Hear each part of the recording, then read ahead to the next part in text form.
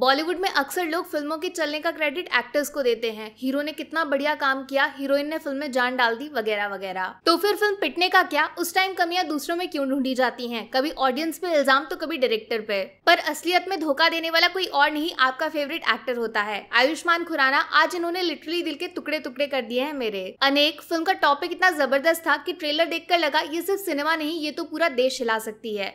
लेकिन दूर से चमकने वाली हर चीज़ सोना नहीं होती मेरे दोस्त। कहानी एक पहेली से जुड़ी हुई है, जिसका नाम है जॉनसन। कहने के लिए नॉर्थ ईस्ट में कोई सीक्रेट ऑर्गेनाइजेशन है, जो अपने स्टेट्स को इंडिया से तोड़ के एक अलग देश बनाना चाहती है। लेकिन इंटरेस्टिंग बात यह है कि ये जॉनसन आखिर है कौन, वो किसी को नहीं पता। झंडे पे बस किसी का चेहरा बना हुआ है, जो शायद कई सालों पहले दुनिया को अलविदा बोल चुका है। अब इस पहेली को सुलझाने और देश के टुकड़े होने से बचाने की ज़िम्मेदारी लेके एक सीक्रेट एजेंट इस एरिया में एंट्री मारता है और नाम पहचान सब कुछ छुपा के खुद इस जॉनसन को भगवान मानने का नाटक करने लगता है। अब कहानी कहानी में ट्विस्ट ये है कि इस सीक्रेट ऑफिसर के दिमाग का रिमोट कंट्रोल दिल्ली में है, किसी बड़े नेता की पॉकेट में। लेकिन दिल इस एरिया में रहने वाली एक सुंदर सी लड़की के काबू में है, जिसकी ज़िंदगी इनडायरेक्टली जॉनसन के साथ जुड़ी हुई है। अब अपना हीरो क्या चुनेगा? दिल्ली वाला दिमाग या जॉनसन वाला दिल? और ये जॉनसन सच में है भी या फिर सिर्फ़ एक भूत है लोगों को डराने के लिए? देखो बॉस कहानी सुन के टिकट बुक मत कर लेना, वो मेरा टैलेंट है आपको फ़िल्म समझाने का। हकीकत में अनेक के अंदर आपको कोई कहानी नहीं मिलने वाली है ज़ीरो स्टोरी मतलब ये शायद पहली ऐसी फ़िल्म है जिसकी ना तो कोई शुरुआत है, ना कोई इंटरवल और ना ही कोई क्लाइमैक्स बस ढाई घंटे स्क्रीन पे कुछ ना कुछ चलता रहता है। फ़िल्म का जो टॉपिक था, वो इतना स्ट्रॉन्ग था जो पूरी नॉर्थ ईस्ट कम्युनिटी के रियल इशूज को नेशनल लेवल पे हाईलाइट कर सकता था। लेकिन हुआ इसका ठीक उल्टा।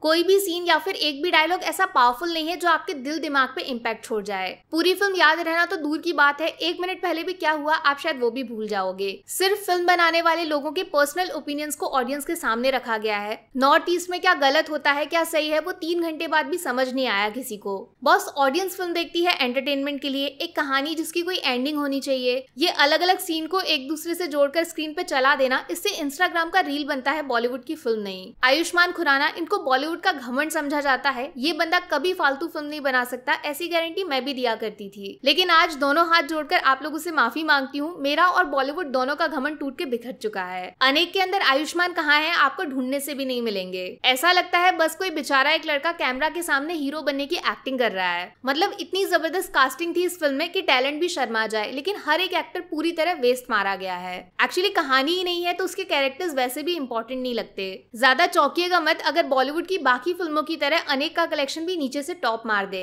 क्योंकि थिएटर तक लोगों को खींच के लाने वाली एक भी क्वालिटी नहीं है इस फ़िल्म में। आज तक मैं सोचती थी कि आयुष्मान की फ़िल्म में स्टार काटने कहाँ पर है, उसमें बहुत मेहनत लगेगी। लेकिन आज पहली बार इनकी फ़िल्म को स्टार देना कहाँ पर है, वो मुझे समझ ही नहीं आ रहा। तो यार, मेरी तरफ़ से अनेक को मिलेगा पाँच में से एक स्टार, वो भी नॉर्थ ईस्ट के इशू पे फ़िल्म बनानी है सिर्फ़ ऐसा सोचने के लिए। नेगेटिव्स में पहला स्टार कटेगा कहानी, जो इस फ़िल्म में है नहीं। दूसरा एक्टिंग जो किसी को करने का मौका नहीं मिला। तीसरा डायरेक्शन अनुभव सिन्हा सर इस फ़िल्म को किस डायरेक्शन में ले गए हैं, शायद उनको खुद भी नहीं पता। और चौथा, आयुष्मान के लिए जब लोग आप पे भरोसा करते हैं तो उसका फ़ायदा नहीं उठाना चाहिए, सिर्फ़ कद्र करनी चाहिए। घर में बत्ती गुल है या फिर गर्लफ्रेंड को प्रपोज मारने का आपका आइडिया फुल है तो चले जाओ थिएटर खाली मिलेंगे। बाकी वीडियो में कुछ पसंद आया हो या फिर कुछ शिकायत करनी हो तो मैं आपको इंस्टाग्राम पे भी मिल जाऊँगी, वरना थोड़ा सा इंतज़ार करिए, मिलूँगी आपसे अगले वीडियो में। Take care bye bye